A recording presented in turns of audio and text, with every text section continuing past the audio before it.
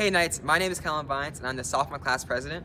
And I'm Remy Corbin. I'm the sophomore class vice president. We are so excited to partner with Safety Center's Teen to Teen Safe Driving campaign, sponsored by the Allstate Foundation.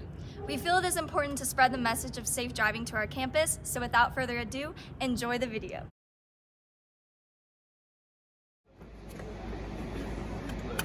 Dude, buckle up, bro.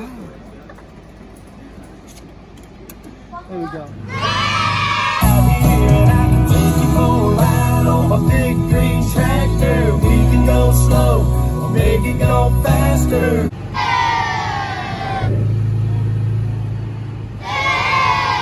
Dude, get off your phone right now. We're driving. I'm sorry.